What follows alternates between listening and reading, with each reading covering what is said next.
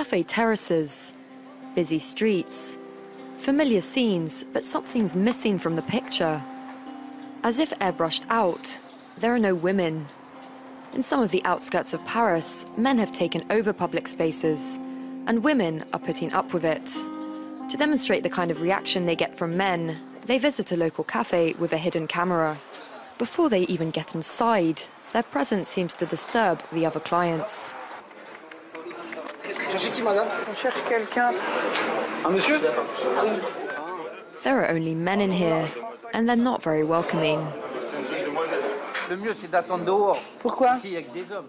bah, C'est pas grave, on, est, on vit dans un monde où il y a des hommes et des femmes. Ça vous dérange, vous? Moi, c'est pour vous. Non, pour moi, là, je suis... The bar owner doesn't want to talk. The other customers, meanwhile, are uncomfortable. Mais je m'en fous, on va se faire discrète, petite, dans un coin.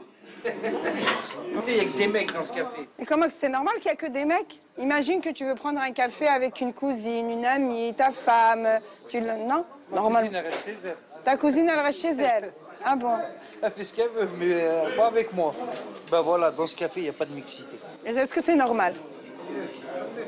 On est à Sevran, on n'est pas à Paris. Même à Sevran, c'est la France. T'es dans le 93. Et alors, Sevran, le t'es 80 pas et alors À Paris, c'est des mentalités différentes. C'est comme bled. For a woman, going into a bar here is breaking a taboo.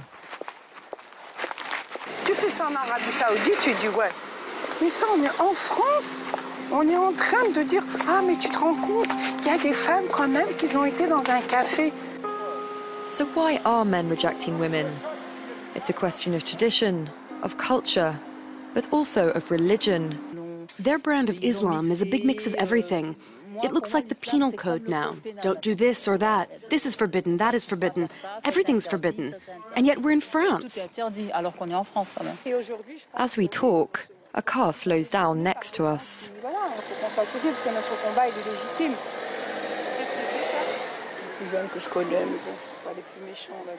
Dis voilà, il faut qu'on soit soudés parce que notre combat il est légitime. Qu'est-ce que c'est ça Les plus jeunes que je connais, mais bon, pas les plus méchants, on va dire. A way of intimidating these women that's become all too regular. They prefer to end the interview. Meanwhile, in the suburb of Lyon, women seem resigned to the situation. This kindergarten assistant does everything she can not to be noticed. We wear dark clothes, trousers, no skirts, no obvious makeup. Red lipstick is out of the question. We erase ourselves, try to be the most discreet possible. Why? Because we're scared, simple as that.